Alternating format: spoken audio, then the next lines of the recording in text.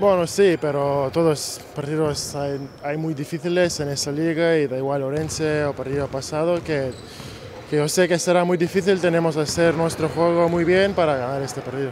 Si tenemos que mantener eso nivel de segunda parte para ganar algo esta temporada, ¿no?